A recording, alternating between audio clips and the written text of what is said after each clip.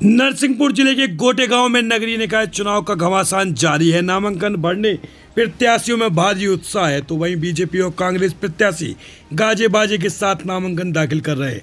अपनी अपनी जीत का दावा करने के साथ साथ निकाय चुनाव के 28 नामांकन अब तक दाखिल हो चुके हैं।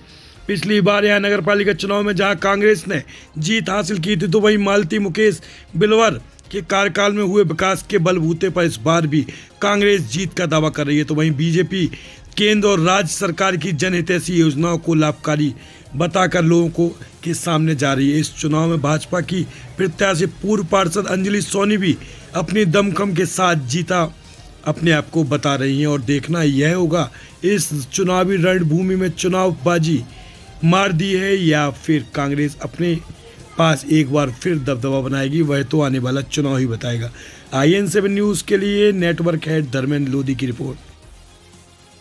थोड़ा सा इस बार हम जीत होगी आप सबके सहयोग से वार्ड के सहयोग से तो मैं अपने वार्ड का जो भी विकास रह गया उसको पूर्ण करूँ और सभी की जो समस्याएँ उनका समाधान। करूँ लोग चुनाव लड़ेंगे और चुनाव जीतेंगे।